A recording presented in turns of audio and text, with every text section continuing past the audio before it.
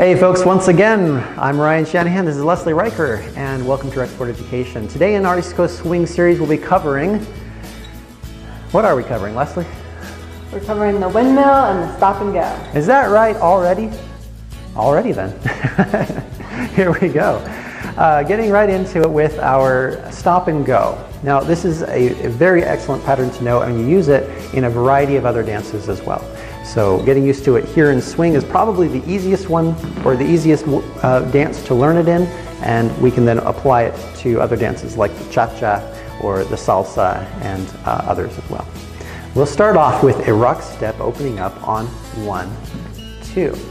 I'm going to sashay across, shaping an inside turn for my partner. I'm keeping your right hand ready, leads.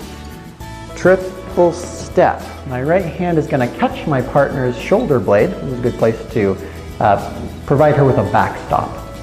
From here, I'm going to rock step again, rock, step, and she rock steps also.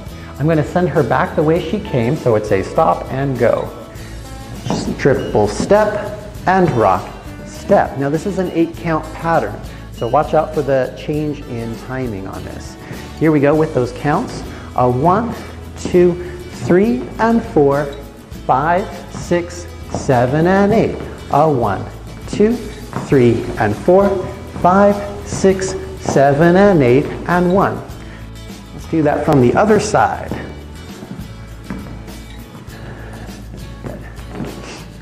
Ready and a one, two, three and four, five, six, seven and eight. A one, two, three and four, five, six, seven, eight, and one. Leaders, as you're shaping for this variation, you're bringing your partner for that inside turn. I want to be at a right angle to my partner. Send her back the way she came, but I also want to be loose with this hand connection. As she comes around for this turn, drop the arm low. Always return to the hip connection. The hips are the anatomical center of the body. From here, I can lead my partner. This becomes a connection to her hip and allows me to turn her and shape the direction that she's going to ultimately be turning to. Thank you. Moving right along, the next pattern I want to show you, I call it the windmill. Now there's lots of different names for these patterns. Maybe you have a different one. Let me show you what we'll do here. We're going to go to a shake hand hold. And again, we're going off count. You're going to start seeing all of our patterns start to take on variations in the timing. For this count, we're going to do exclusively sashays uh, until the, the end. And so we'll start with a wind up.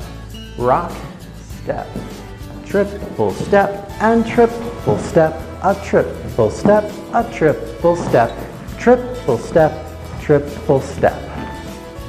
Okay. Once more from the other side. Starting with that wind up, rock, step, triple step, triple step, triple step, triple step. Now a few points on this for the lead and the footwork. You're going to be turning yourself uh, a little bit at a time, about eighth of a turn on each, uh, on each sashay. Starting with that rock step, one, two. I'm turning my partner to face away from me. I'm turning to face my partner, so my left foot comes forward, her right foot comes across, and we sashay, triple step. I've got a connection to my partner's back now. I'm putting it here on her left shoulder blade is a good place again.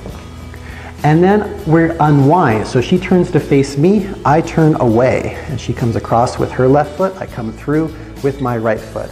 And triple step. Let's do that once again. We unwind back, triple step, and unwind again. I'm using this hand as my lever to bring her through and open up or close my partner. The other arm is out for styling and presentation. All right. Now, how do we get out of this pattern becomes the question. You have two options.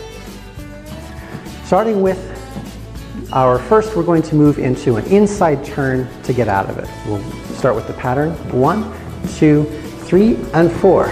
Five and six, seven and eight, one, a two, three, and four, five, and six. Excellent. Okay, to do that, after I finished closing my partner toward me, so she comes across, she's got her hand on my back, I'm going to shape an inside turn. So I triple step with my left foot, ladies triple step with the right, I shape an inside turn, and we simply return to the side, dropping the hand back to a regular hand hold. Now, your other alternative is a little simpler. Okay, alternatively, we're going to wind up, and, and we're not going to do a turn this time. I commence with the windmill, and then simply return to a left to right hand hold when you're ready. The best place for that is, this is, as your partner is facing out, simply sashay back to the side with her to join her and pass the hand back to your left, and this ends the action. We are Ryan and Leslie. You just watched the East Coast Swing Stop and Go and the Windmill. This is RecSport Education. Thank you for watching and we'll see you next time. You guys all have a good one.